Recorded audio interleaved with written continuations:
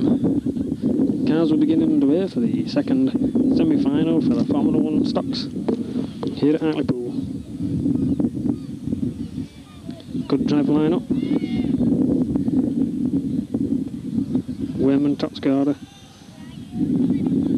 on pole position.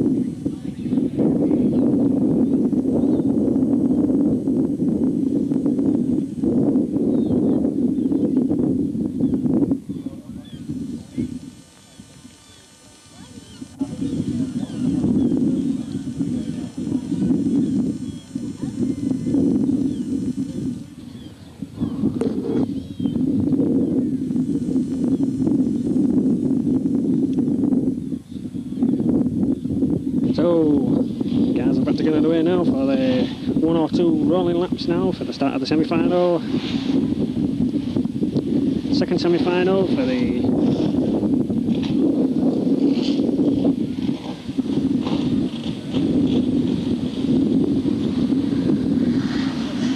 The Warriors uh, about to give it some stick.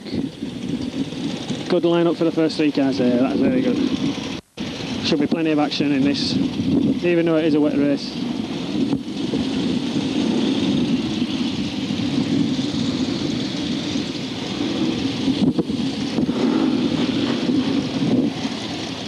Give it some well large.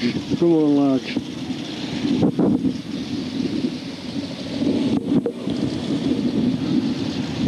There'll either be complete carnage at the start of this race or Wainman Junior will get suffer in front of this first car and uh, it's just complete joke. Anyway, we one can but uh, wait and find out. And no, you're not on the film, you stupid little idiot. Stop trying to put your hand out. Yeah, yeah, yeah. Hmm.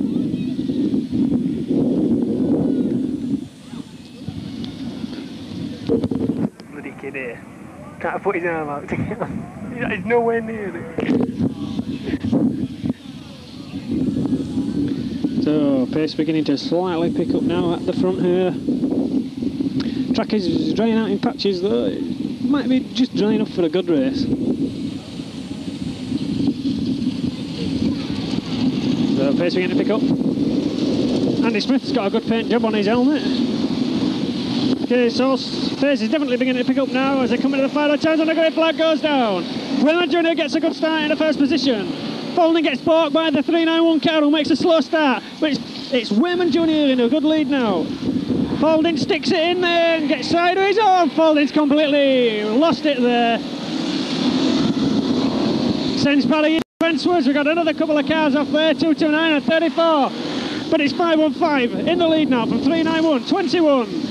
202s, 260 and 77. They're causing a bit of a problem down here, these three cars. They're completely hooked up and they might just have to uh, yellow flag the race here. And Follin has gone out again down there with Frankie Wainman, Frankie Wainman Senior. Looks like Follin will be going to Ensford via the uh, consolation semi. But it's these two in front now. It could be a good race. Could be a good race now between these two. Follin looks to have overcooked his engine. It's close now at the front. Will Andy Smith give Wainman Junior a big stunk? Let's just hope he does, because we won't mind a good result here for this semi-final. It's very close for these first two now. It looks like it's Richard Mason in third position. We've got cars piling in. They're definitely going to have to red flag this race now. Yeah, yeah. Uh, yellow flagging it now. They've got to get these guys out of the way. There's total track blockage down here. Danny Clark is completely beached on the uh, on the curbs there.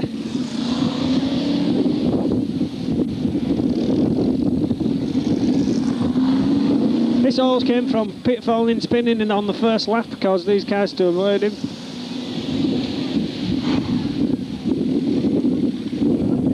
Looking at the uh, Wainman car, it looks very, doesn't have much of space to look through, does it?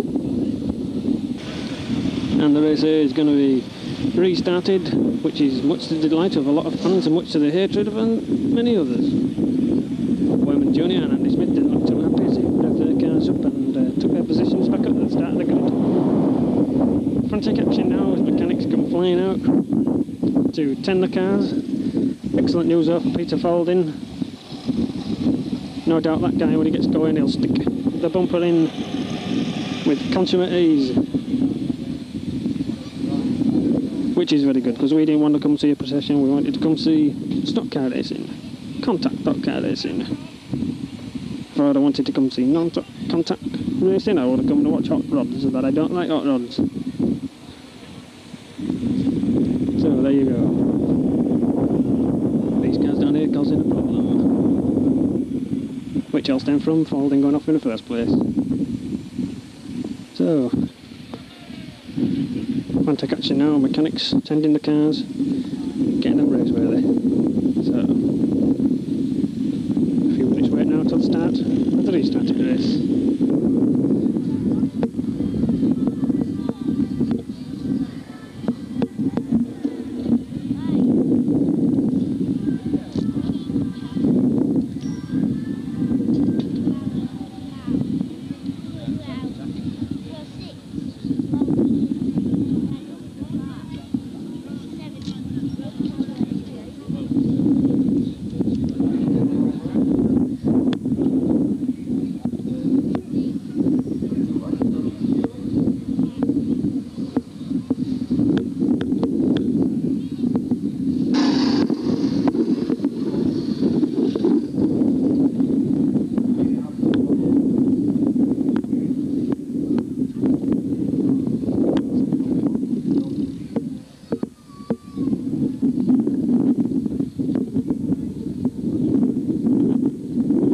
Did Northampton forget to go this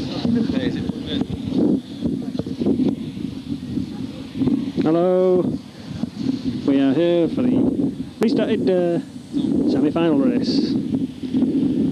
Holding now is holding back. The track is completely dry. What perfect conditions we've got now for some absolutely awesome racing here now.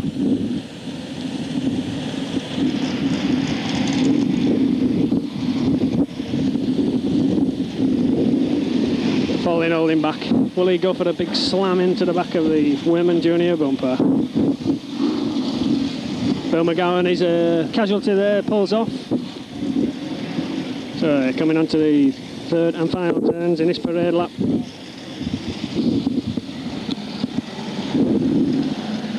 The green flag is just about to go down now. Ooh, looks like we are in for some storming racing. Falding hanging back as well as Mark Gilbank who's doing the same thing. Will they get the run on these two cars coming into this first turn? Looks like he's going to take them on for another rolling lap. So two rolling laps here now.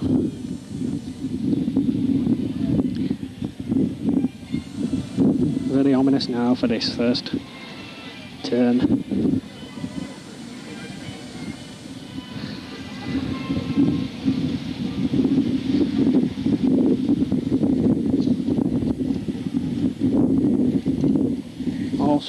Ramp.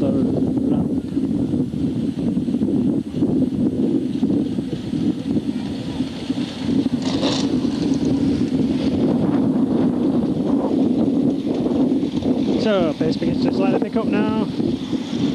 We'll be in for an absolutely classic semi-final? It has all the ingredients as the green flag goes down. Wainman Junior gets an absolutely storming start as they pull away from the 33 car. How is to get cars going off into this first corner?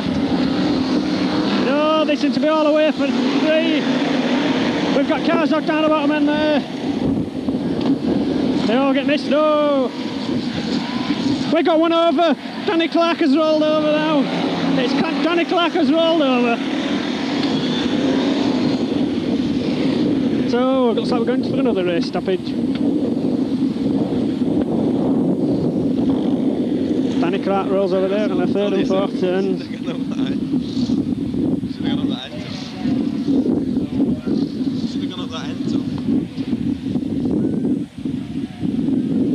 So, more yellows come out as Danny Clark rolls down the bottom corner, third and fourth turns. Goes over, I think it was the front of the 345 Gary Cole car. He's out of the car and going to roll it over.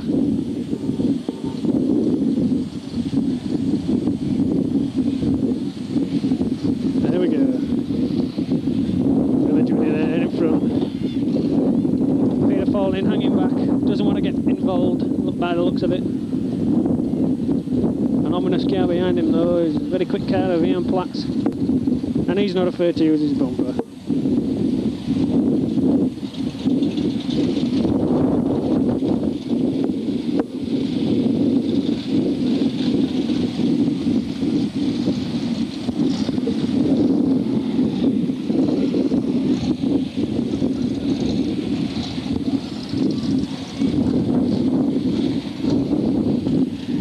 Danny Clark has uh, he's got his car back on his wheels. It looks like he's going to take the restart, but the flag man has got the black flag out. There's Johnny Foster there, X414, X getting stepped into the uh, Aycliffe fence by Peter Falding in 1989.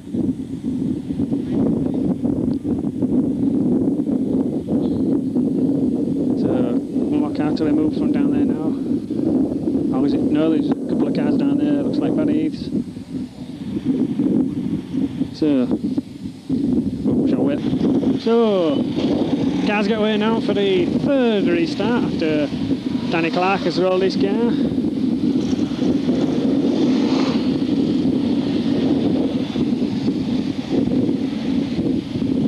Danny Clark taking the uh, restart. I'm not sure if you can do that. If you cause the race stoppage, you are disqualified. I am kindly informed by my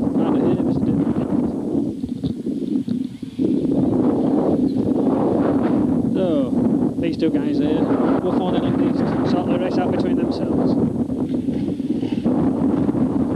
And when it comes to the final turn, he picks up the pieces. The wind is getting up now. It's so windy I can hardly hear myself speak.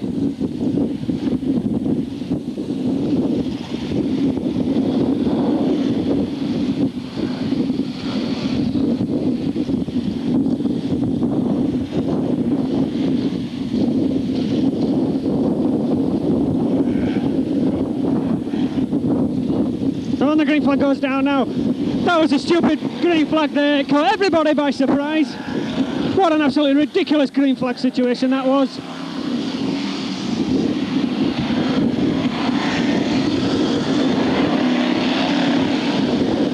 Pete Foley does not look very happy there.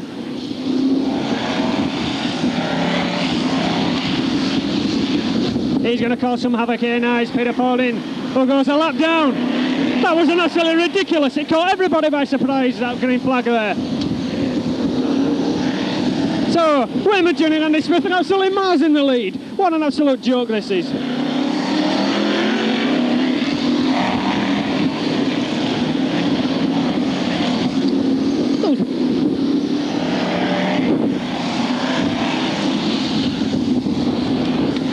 Falding is already a lap down. Time that was for Peter Falding. So it's Wainman Junior in the lead from 391. 77 Ian Platts, 202 and uh, 250.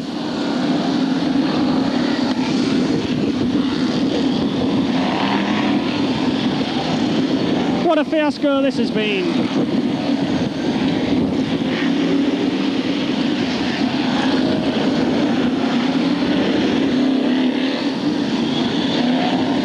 So we are having an absolutely boring procession now as Wainman Junior is in front of the 391 car, who no, does not seem to be catching him at all.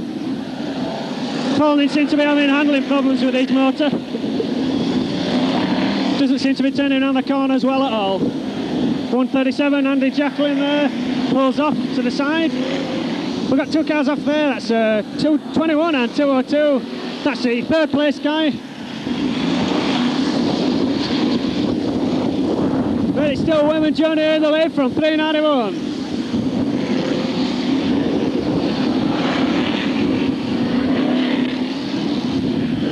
Five one five, uh, Frankie Wainman Junior. Driving land is always on rails.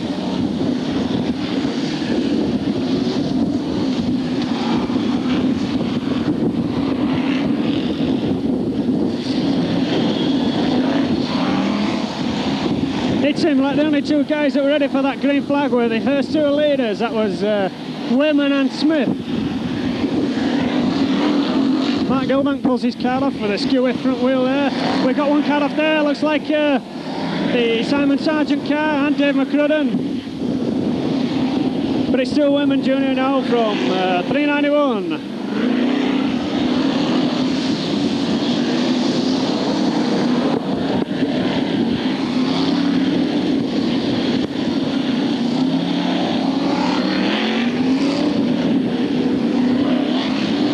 Quite sure who third place is. It could be uh, Ian but if it is, he's nearly going to be on. Oh.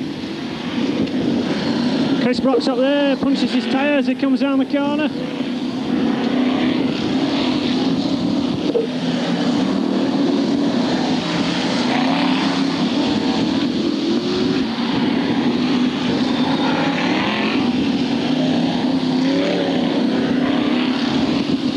There goes Wainman Junior. We're not quite at the halfway stage yet, so anything could happen in this race. But these guys have got a massive jump on everybody else. I don't think it's going to be long before they start lapping the, lapping the field.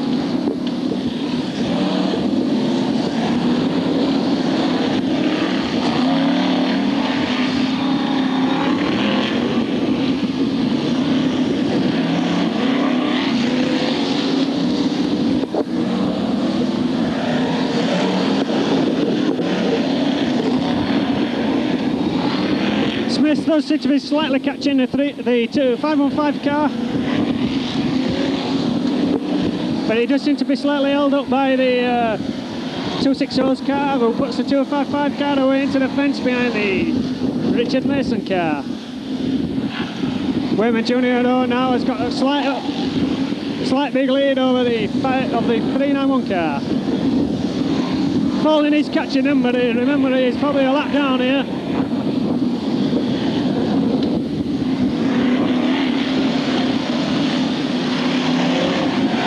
Yes, because the starter is not flagging Peter Falding, so he cannot be on the lead lap.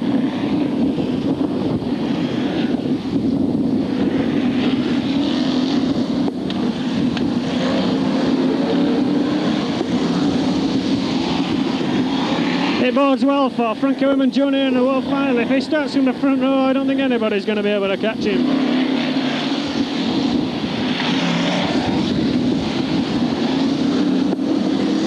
Where is Peter Falding?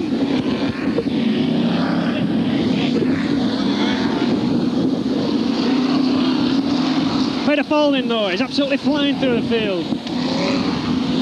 His car seems to be handling perfectly now. It must Well, that's a... So, Wainman has won a semi-final. That's into a very short race there. Wainman from Smith. It could be, I'm not sure, it could be 260 Dave Beresford in third, I'm not quite sure.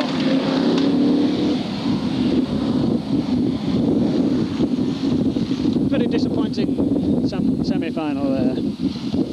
I think there might be controversy over the waving of the green flag there. Took everybody by surprise. I'm not quite sure on who finished third. Yeah, the first two place guys there.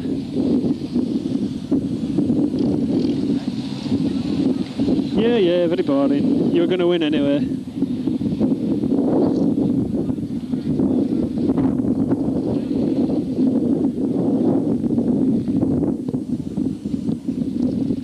I don't think anybody else knows who finished third. So, Keith Chambers there. Chambers, the third place guy. Quite sure what the other positions will be. I don't think we'll be able to hear them anyway.